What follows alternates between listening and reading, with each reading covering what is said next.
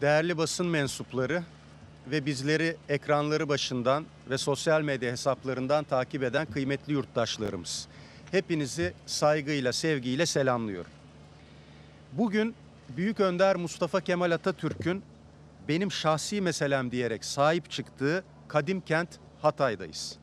Sizlere konteynerların bulunduğu Arsuz Yaşam Merkezi'nden sesleniyorum ve şu anda Genel Başkanımız Sayın Özgür Özel'in başkanlığında MYK toplantımız yan tarafta konteynerde halen devam ediyor. 6 Şubat 2023 tarihinde hiçbir şeyin bir daha eskisi gibi olmayacağı, üzerinden yıllar da geçse ruhumuzun enkaz altından çıkamayacağı bir facia yaşadık. Bu felakette 50 binin üzerinde vatandaşımızı kaybettik. Hepsine bir kez daha Allah'tan rahmet diliyoruz.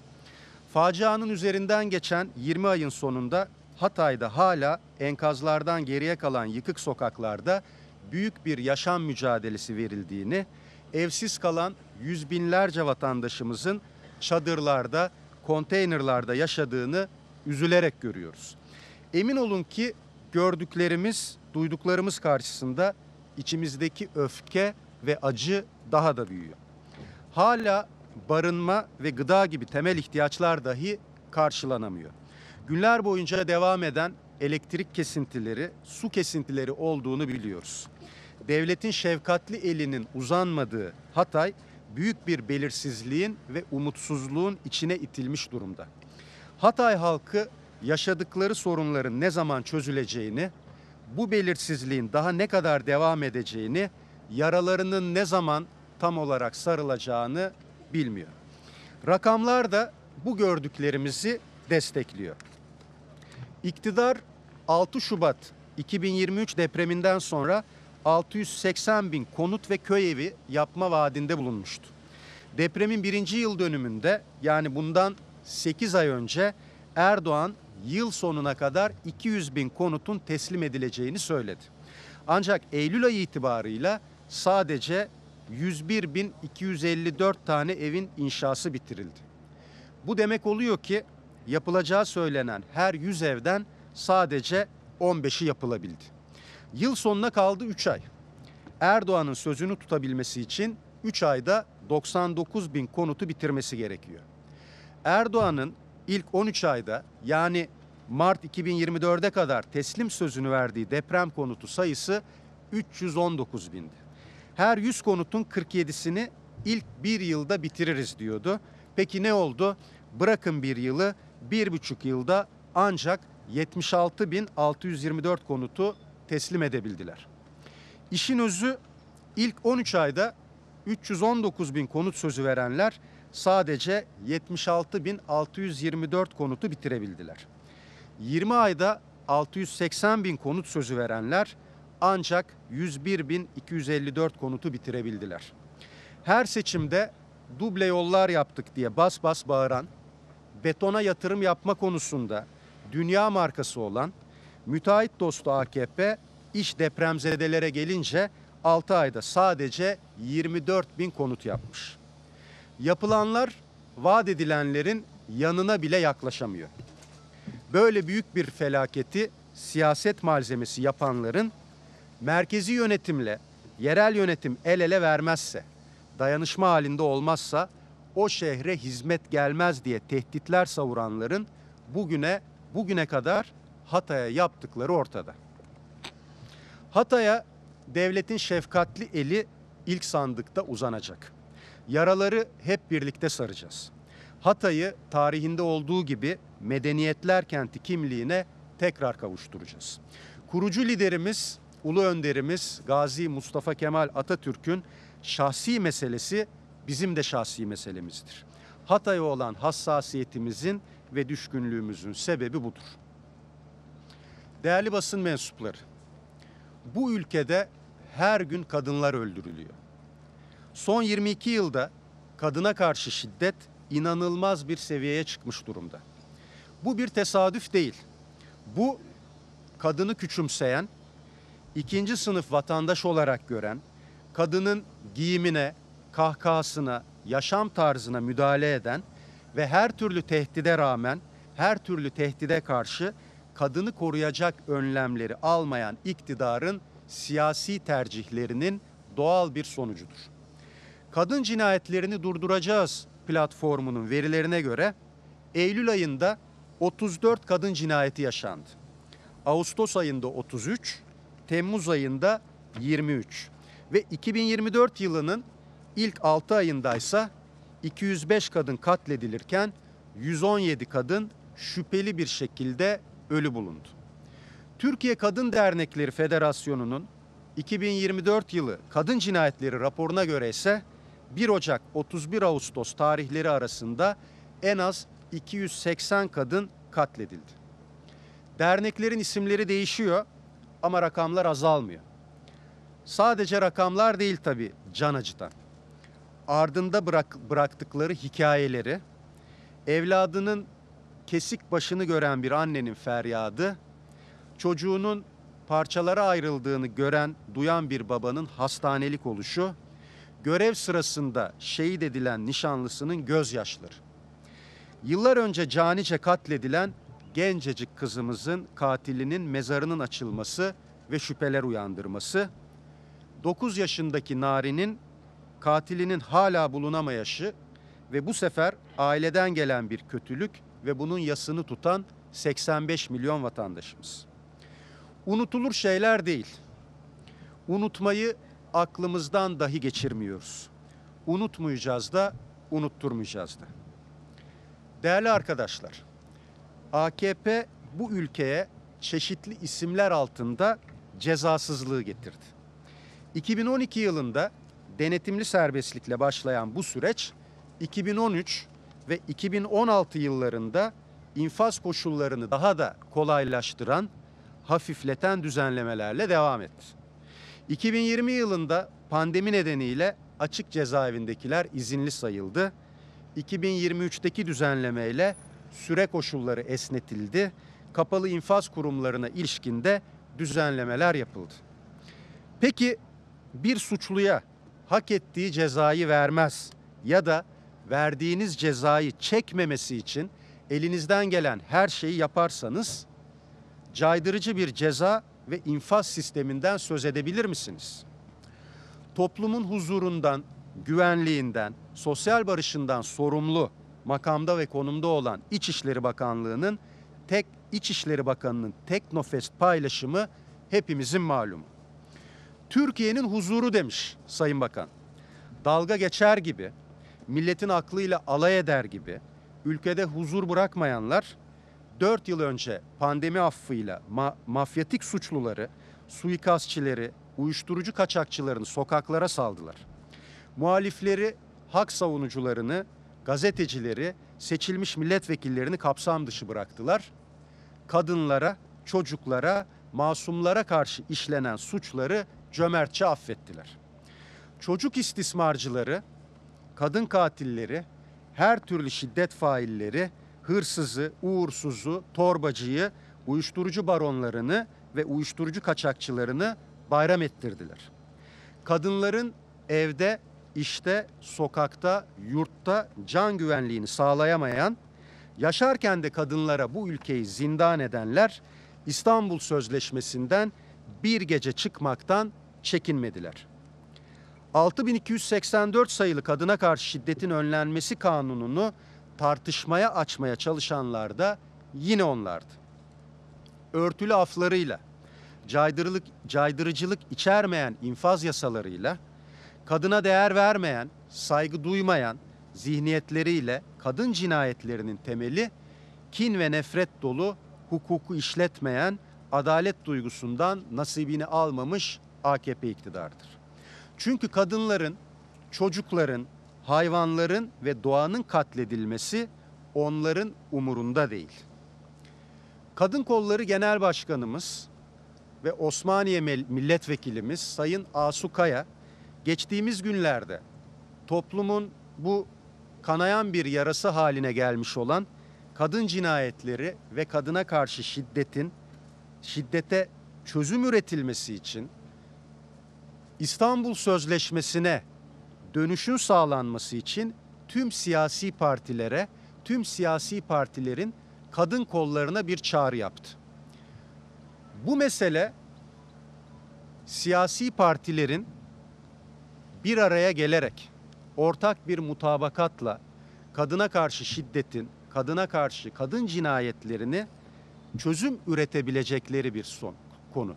Ancak ilk imzacısı olmasına rağmen ve İstanbul'da imzalanması hasebiyle İstanbul Sözleşmesi ismini alan sözleşmeden Türkiye Büyük Millet Meclisi'nin onayıyla yürürlüğe girmiş olan bir sözleşmeden bir gece yarısı kararnamesiyle tek adam zihniyetiyle çıkılması ve İstanbul Sözleşmesi'nin yürürlükten kaldırılması işte tam da bu yaşadığımız kadına karşı şiddetin ve kadın cinayetlerinin bir numaralı sorumlusudur.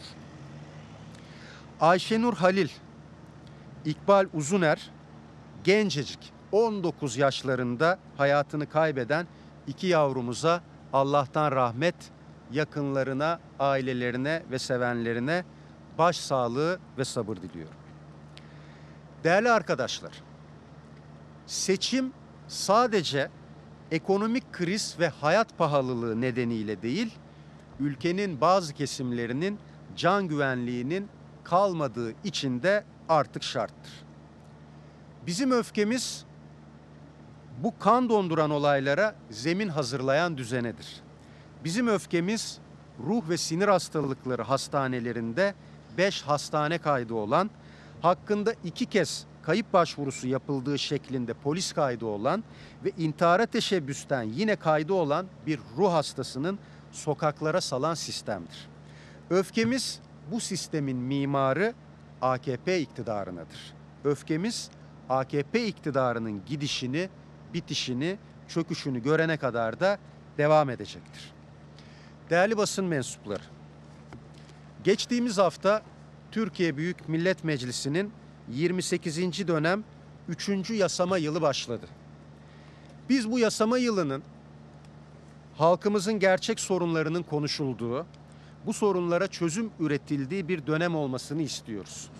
Ancak Sayın Cumhurbaşkanı'nın meclisin açılışında yaptığı konuşmada yeni yasama yılına ilişkin çizdiği çerçeve AKP'nin gündeminin halkın gündemine çok uzak olduğunu bir kez daha göstermiştir. Neymiş? Türkiye'nin 21. yüzyılda büyük hedef ve iddialarını gerçekleştirmesi ancak yeni uzlaşmacı, özgürlükçü, katılımcı ve sivil bir anayasayla mümkünmüş. Sanki ülkenin bütün sorunları bitmiş. Milletin bütün sorunları çözülmüş de hayat pahalılığı ve ekonomik kriz sona ermiş. Mutfaktaki yangın söndürülmüş de sanki işsizlik bitirilmiş, sığınmacı sorunu çözülmüş, gelir dağılımında ve vergide adalet sağlanmış da sanki yargı bağımsızlığı ve hukukun üstünlüğü tesis edilmiş, okullarda temizlik ve hijyen sorunu çözülmüş, kamuda yapılan atamalarda liyakat esas haline getirilmiş de neymiş? Yeni bir anayasaya ihtiyaç varmış. Bu söylediklerine Sayın Erdoğan kendisi de inanmıyor ya, siyaseten söylemesi gerekiyor. Yoksa beyefendi ekonomik krizi, hayat pahalılığını ve ülkenin diğer sorunlarını nasıl unutturacak? Bakın yeni anayasa diyorlar ama mevcut anayasayı tanımıyorlar. Anayasa Mahkemesi kararlarını dahi uygulamıyorlar. 76 bin Hataylı vatandaşımızın oylarıyla milletvekili seçilen ve şu anda milletvekilliğinin düşürülmesine ilişkin işlemin yok hükmünde olduğu ve şu anda Türkiye Büyük Millet Meclisi'nde yasama faaliyetine katılması gerektiği Anayasa Mahkemesi kararıyla tespit edilen Can Atalay cezaevinde.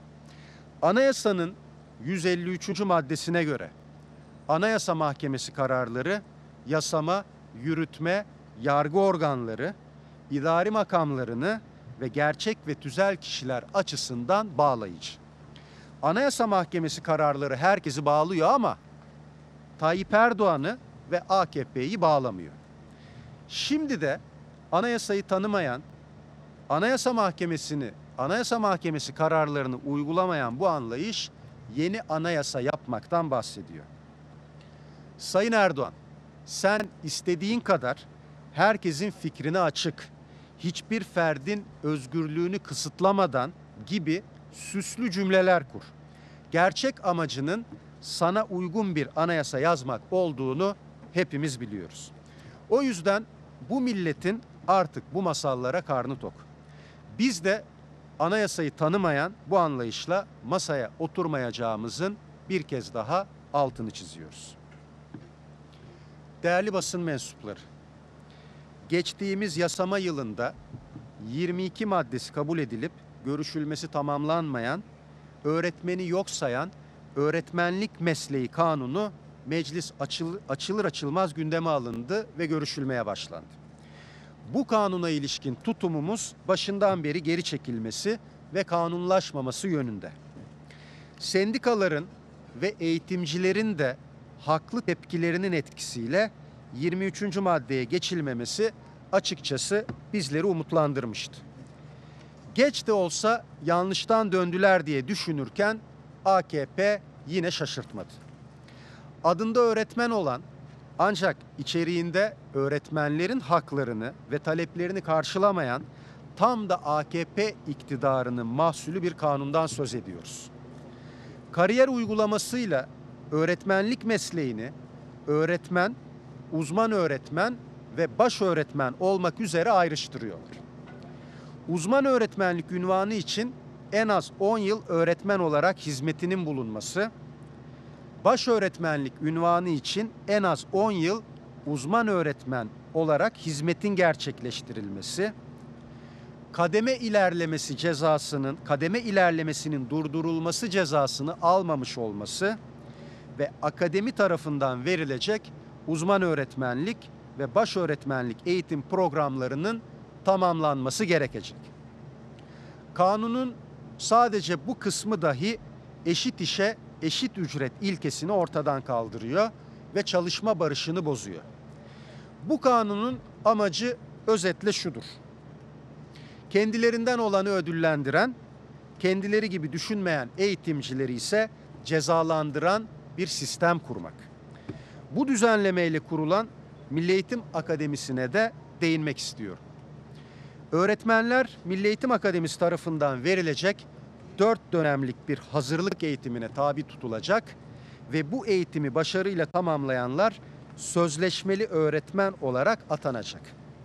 Sanki öğretmenler eğitim fakültelerinden mezun olup eğitimci ünvanı almamışlar gibi üstüne bir de KPSS'ye girip KPSS sınavını kazanıp atanmamışlar gibi aldıkları eğitimler yetersizmiş gibi öğretmenlerimizin sözde eğitime tabi tutulması kabul edilemez. Milli Eğitim Akademisi AKP'nin tam da kendi zihniyetinde öğretmenler yaratma, öğretmen profili yaratma çabasıdır. Bu düzenlemeyle öğretmenlerimize sen istediğin kadar eğitimini tamamla, formasyonunu al, nafile deniyor. Senin öğretmen olup olmadığına ben karar veririm deniyor. ÇEDES denilen ucube projeyi çağ dışı Türkiye yüzyılı marif modeli denilen gerici müfredatı sorgulamadan uygulayacak, cemaat ve tarikatlerle yapılan protokollere sessiz kalacak kadrolar oluşturmayı hedefliyorlar. Bu düzenleme üniversite eğitimi almış eğitimciyi eksik ve kusurlu gören, eğitim fakültesi diplomasını adeta yok sayan, eğitimciyi sözde eğitime tabi tutan, kendi kadrolarına yer hazırlayan, yüz binlerce işsiz öğretmen ve özel sektör öğretmeninin sorununu görmezden gelen bir düzenleme. Bu düzenlemeye karşı sonuna kadar, son ana kadar direnişimizi sürdüreceğiz. Bu düzenlemenin karşısında öğretmenin ve öğretmenlik mesleği onurunun yanındayız. Değerli basın mensupları, bu ülke herkesin eşit eğitime erişebilmesi için eğitim seferberliği başlatan, kırsal bölgelerin eğitim ve kalkınmasında önemli rol oynayan köy enstitülerini açan, çağdaş, bilimsel, laik eğitim yolunda taşları tek tek döşeyen İsmail Hakkı Tonguç gibi yöneticiler ve Hasan Ali Yücel gibi vizyoner Milli Eğitim Bakanları gördü. Bundan 60-70 yıl önce öğrencisine, öğretmenine sahip çıkan, eğitimde devrim niteliğinde işlere imza atan bir anlayıştan söz ederken bugün maalesef konuştuğumuz adına bakan demekten utanç duyduğumuz bir kişi ve onun ipe sapa gelmez açıklamaları. Okullarda ücretsiz öğle yemeği talebini çocukların yeme alışkanlıklarına uygun değil diye geçiştiren de okullardaki temizlik sorununu salgın hastalık riskine ulaşınca açıklama yapmak zorunda kalan da bu ülkenin Milli Eğitim Bakanı. Okullar açılmış, üzerinden 3 hafta geçmiş, veliler sınıfları temizliyorlar. Devlet okullarında okul aile birliği temizlik için para topluyor. Beyefendi lütfedip de 30 bin personel alınacak diye açıklama yapıyor. Ya Yusuf Tekin sen de o, sen de Haziran'da öğrencilerle birlikte tatile çıkıp Eylül başında mı döndün görevine? 3 ay boyunca ne yaptın? Okullarda her yıl hijyen konusunda sorun yaşandığını, temizlik sorununu her okulun kendi imkanlarıyla ya da velilerin imece usulü yaptıkları yardımlarla çözdüğünü bilmiyor muydu? 2002'de Milli Eğitim Bakanlığı merkezi yönetim bütçesinden en büyük payı alan dördüncü kurumken 2024 yılında en büyük payı alan kurum olmuştur. Bu yıllar karşılaştırıldığında eğitim bütçesinin merkezi yönetim bütçesi içindeki payı %10.64'ten %14.61'e yükselmiştir. Bu imkanlarla eğitimin altyapısı, fiziki şartları ve teknolojik donanımı önemli ölçüde tamamlanmış durumdadır. Bu sözleri kim söyledi biliyor musunuz? Bu sözleri Yusuf Tekin söyledi. Türkiye Büyük Millet Meclisi'nde bütçe sunuş konuşmasında söyledi bu sözleri. Aynı gün tarikatlere ve cemaatlere sivil toplum kuruluşu da dedi. Peki Yusuf Tekin merkezi bütçeden bu kadar pay alırken, bu kadar yüksek pay alırken bu bütçeyi nerelere ve kimler için kullandırıyorsun? Bunu söyle. Çocuklarımıza bir kap yemeği çok gördüm. Onların temiz, hijyenik, modern ortamlarda bilimsel ve akademik eğitim almaları senin umrunda bile değil. O kadar umrunda değil ki belediyelerimizin çocuklarımızın sağlığı için okulları temizlemesine bile tahammül edemedim.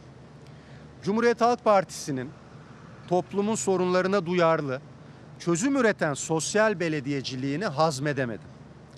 Kendi beceremediğin hizmeti Cumhuriyet Halk Partili belediyeler yapınca il ve ilçe milli eğitim müdürlüklerine, okul yönetimlerine derhal talimatlar yağdırdı. Çocuklarımız için iyi ve doğru olan, doğru adımlar atan herkesin karşısında olduğunu bir kez daha gösterdi. Senin derdin halkın vergileriyle oluşan bu bütçeyle tarikat ve cemaatleri fonlamak, tarikat ve cemaatleri palazlandırmak. Parti sloganı gibi adıyla öğretmeninden müdürüne, öğrencisinden velisine kadar herkese dayattığınız Türkiye yüzyılı marif modeli denilen ucube sistemle eğitimin içini boşalttınız. Ders saatleri az, içerikleri zayıflatıldı, üstelik de hatalı. Milli eğitim sistemini nicelik ve nitelik olarak yerlerde sürünür hale getirdiniz. Çünkü hiçbir zaman önceliğiniz aslında eğitim olmadı. Zaten eğitimi önemsemiş olsaydınız bu kadar saçma beyanlarda da bulunmazdınız. Değerli arkadaşlar, geçtiğimiz hafta Eylül ayı enflasyonu açıklandı. TÜİK yine bizi şaşırtmadı. Vatandaşın çarşıda, pazarda, markette, manavda gördüğü enflasyonu değil, AKP'nin istediği enflasyonu açıkladılar. ENAG'a göre yüzde 88 olan enflasyon TÜİK'e göre yüzde 49'muş. Mehmet Şimşek enflasyonun açıklandığı gün süslü cümlelerle ekonominin iyiye gittiğine yönelik açıklamalarda bulundu. Ancak açıklamasında mutfaktaki yangın hala neden sönmüyor sorusunun cevabı yok. 6 kişilik bir aileyi 12.500 lirayla geçindirmeye çalışan bir emeklinin üniversite öğrencisi okutan 17.002 liralık asgari ücretlinin de çaresizliğini giderecek tek bir cümle kuramadı Mehmet Şimşek. Eylül ayında eğitim giderinden gıdaya, kiralardan hizmet sektörüne kadar her alanda fiyatlar yükseldi. Buna rağmen TÜİK enflasyonun düştüğünü söyledi. Mehmet Şimşek'e ve AKP'ye bir kez daha hatırlatmakta fayda var. Siz enflasyonu düşük gösterdikçe enflasyon düşmüyor. Enflasyon rakamları üzerine yaptığınız makyajlama vatandaşın alım gücünü yükseltmiyor. Açlık sınırı 20 bin liraya, yoksulluk sınırı 65 bin liraya, bekar bir kişinin yaşam maliyeti 25 bin liraya, gıda enflasyonu yüzde 60'a dayanmışken siz kimi kandırdığınızı düşünüyorsunuz bilmiyoruz. Ama emin olun vatandaş artık sizin bu ekonomi düzeliyor masallarınızı yutmuyor. Değerli basın mensupları.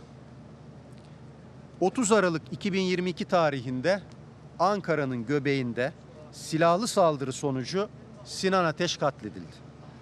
Aradan geçen iki yıla rağmen adalet arayışı ne yazık ki olumlu sonuçlanmadı.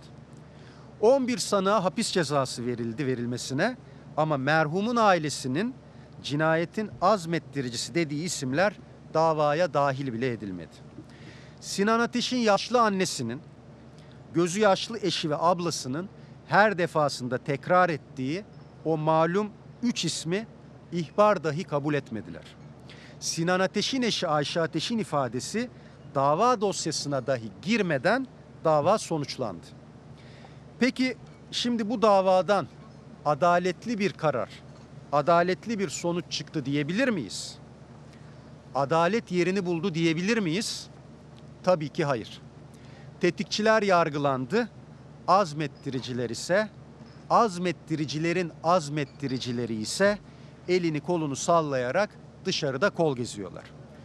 Üstelik sonuçlanan davada Sinan Ateş'in neden öldürüldüğü dahi belli değil. Bizim için ve milletin vicdanında bu dava sonuçlanmış değildir. Acılı aile oğullarının gerçek katillerinin ceza almadığını bilmeleri yetmezmiş gibi bir de duruşma çıkışında saldırıya uğradı. Ankara 32. Ağır Ceza Mahkemesi'nde kararın açıklanması öncesinde verilen arada yaşanan gerginlik fiziki müdahaleye, fiziki saldırıya kadar vardı. Şüphesiz Milliyetçi Hareket Partisi Genel Başkanı Devlet Bahçeli bu eseriyle gurur duyuyordur. Bu fiziki saldırıların yarın silahlı saldırıya dönüşmeyeceğini kim garanti edebilir? Sinan Ateş'in eşi Ayşe Ateş'in acısını unutturup hepimizi öldürün, rahatlayın diye isyan ettirenlere yazıklar olsun. O kadar utanmaz, o kadar pişkinler ki fiziki saldırının üzerine bir de MHP Genel Başkan Yardımcıları İzzet Ulvi Yönter ve Semih Yalçın yememiş, içmemiş jet hızıyla Sinan Ateş'in annesi Saniye Ateş ve ablası Selma Ateş hakkında suç duyurusunda bulunmuşlar. Büyük bir pişkinlikle Sinan Ateş'in ailesine, gazetecilere, davayı takip eden siyasetçilere tehditler savuran, saldırıda bulunan bu tavrı kınıyoruz. Siyasetin koyu gölgesi Sinan Ateş'in naaşı üzerine çökmüştür. Cumhuriyet Halk Partisi olarak bu olayın başından bu yana adaletin tecelli etmesi yönündeki net tavrımızdan bir milim bile sapmadık. Tavrımız mafya düzenine karşı hukuk devletinden yanadır, hukukun üstünlüğünden yanadır. Tavrımız siyasi hesaplara karşı Sinan Ateş'in adalet arayan eşinin ve çocuklarından yanadır. Tavrımız üstünlerin hukukundan değil, hukukun üstünlüğünden yanadır. Fakat bu dava bizim nezdimizde adaletle sonuçlanmamıştır. Değerli arkadaşlar, bugün Hamas'ın İsrail'e yönelik başlattığı ve İsrail'in de orantısız güçle karşılık verdiği, misilleme yaptığı çatışma halinin bundan bir yıl önceki e, e, çatışma halinin yıl dönümüdür. Bundan bir yıl önce 7 Ekim sabahı başlayan dehşet sürecinde İsrail saldırılarında 41 binden fazla insan hayatını kaybetti. Milyonlarca insan yerinden yurdundan edilmeye devam ediyor. Uzmanların paylaştıkları ve aktardıklarına göre Hamas'ın 7 Ekim 2023'te başlattığı saldırıdan İsrail gibi teknolojik ve istihbarat toplama kabiliyeti üst düzeyde olan bir devletin habersiz olması olasılık dahilinde bile değil. Bakın başka bir ülkenin topraklarından topraklarında binlerce çağrı cihazı ve telsizi patlatabilen bir devletin kendi kontrolü altındaki topraklarda kendisine yapılacak saldırıdan habersiz olması mümkün değildir. Hamas'ın başlattığı saldırılar yüzünden hayatını kaybeden tüm Filistinlilere Allah'tan rahmet diliyor ve tüm dünyaya bir çağrıda bulunuyoruz. İsrail'in bu fetişçi, yayılmacı politikasının durdurulması için tüm devletler üzerine düşeni yapmalı. Aksi halde İsrail'in açtığı bu cehennem kapısı bir daha kapanmayacak. Hali hazırda dünyanın en fazla sığınmacı ve kaçağını barındıran ülke olarak İsrail'in saldırılarından yer değiştirmek zorunda kalan milyonlarca kişinin sığınağı haline geleceğiz. Yerinden yurdundan edilmiş 2 milyon Filistinli, 1 milyon Lübnanlı'nın hedef ülkesi ne yazık ki Türkiye. Bunların yanı sıra İran'ın sınır dışı etmeyi duyurduğu 2 milyon Afganlının da Türkiye'ye yönelmesi muhtemeldir. Çünkü doğu sınırlarımızda açık kapı politikası uygulaması halen devam ediyor.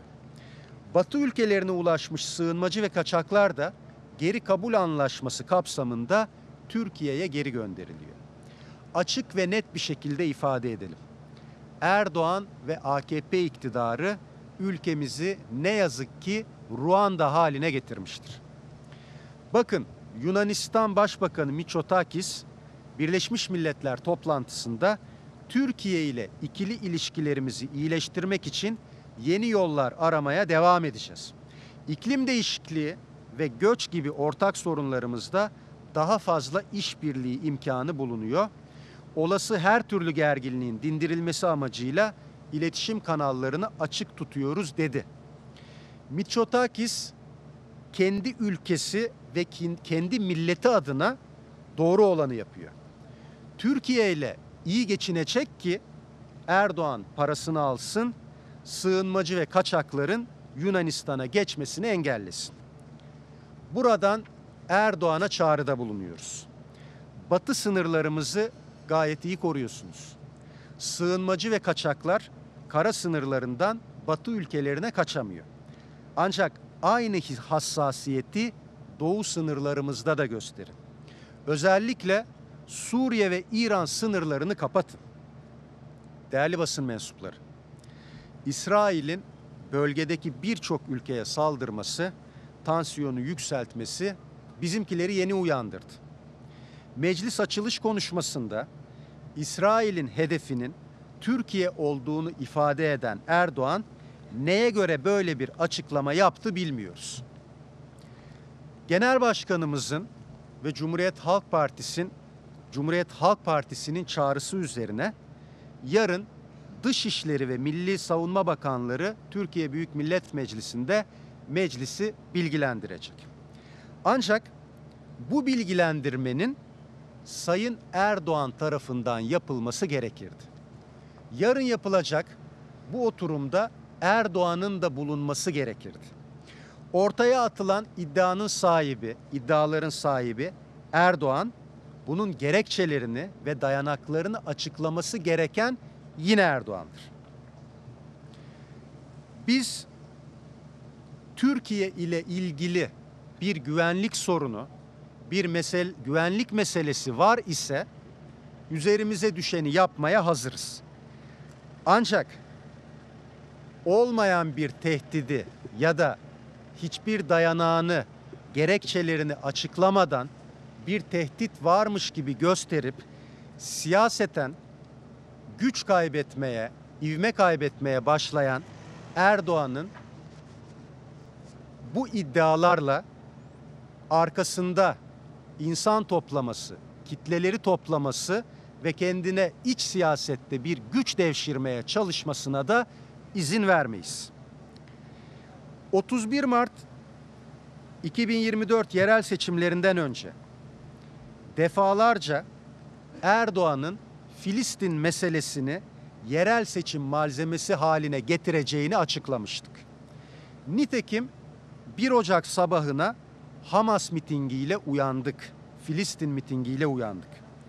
Ve yerel seçim meydanlarında İsrail'den başka bir şey konuşmayan Erdoğan yine bunun aynısını yapmaya kalkarsa biz de 81 ili gezer Erdoğan'ı milletimize şikayet ederiz. İsrail bize saldıracak diye bir lafı söylüyorsan bunun dayanaklarını da belirtmek zorundasın ki anayasaya göre başkomutan sıfatı taşıyan biri böyle bir durum varsa bile bunu söyleyemez. Savaş tehlikesi seçim malzemesi yapılacak bir konu değildir. Libya'ya nasıl girdiysek, Karabağ'a nasıl girdiysek İsrail'e de aynı şekilde gireriz noktasından İsrail bize saldıracak noktasına nasıl geldik? Bunu anlatması lazım. Değerli basın mensupları, Mehmet Şimşek kapı kapı dolaşıp yatırım arıyor, yatırımcı arıyor. Erdoğan Birleşmiş Milletler toplantısına gidiyor. Yatırımcılara ülkemize güvenin, yatırım yapın diyor. Sonra 10 gün sonra kalkıp İsrail bize saldıracak. İsrail'in sıradaki hedefi Türkiye toprakları diyebiliyor. Ve Borsa İstanbul'u darmadağın ediyor. Ağzından çıkanı kulağının duymadığı Erdoğan'ın söylediği her sözün bedelini milletimiz ödüyor. Ekonomik anlamda zaten ağır koşullar altında hayatta kalma mücadelesi veren milletimiz daha da ağır koşullara savruluyor. Artık Sayın Erdoğan da AKP iktidarı da ülkeyi yönetme becerisini iyice kaybetmiştir.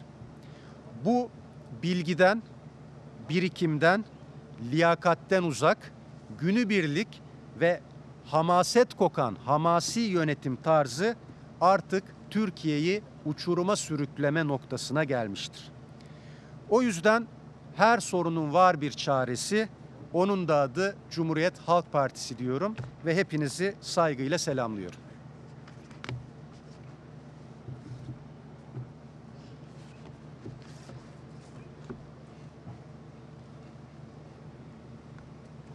Teşekkür ederim arkadaşlar.